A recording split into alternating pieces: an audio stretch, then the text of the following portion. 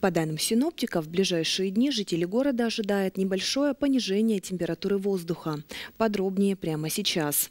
На Южном Урале малооблачно, без осадков, о температуре в городах.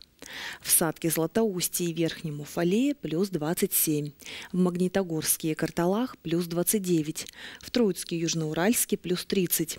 Температура воздуха в Челябинске в ночные часы плюс 16, плюс 14, а в дневные температура воздуха опустится с плюс 29 до плюс 22.